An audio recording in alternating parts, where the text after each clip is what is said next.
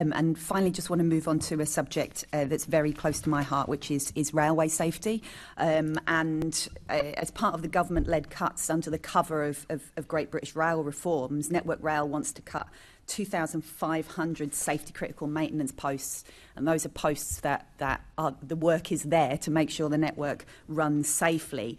I mean, I'm really concerned about the safety of the railway in London, especially as so many Londoners rely on, on um, our suburban rail, especially when areas where the tube doesn't go.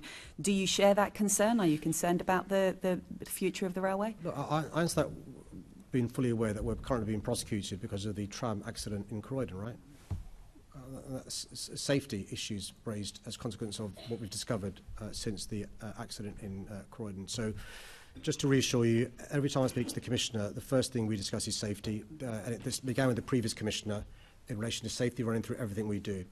And so in, in the heatwave of the last week, uh, I've learned more about the dangers of rail tracks buckling because of hot temperatures. I now know about uh, the impact on overhead cables and signalling because of the concerns TfL have around the consequence of safety if they don't get this right. And so one of the reasons why TfL reduced the speed of their trains, they didn't need to, uh, because uh, they were concerned about safety if they were going too fast and there was issues with buckling and stuff. So that is at the fore of our mind. Clearly, I can't speak for Network uh, Rail.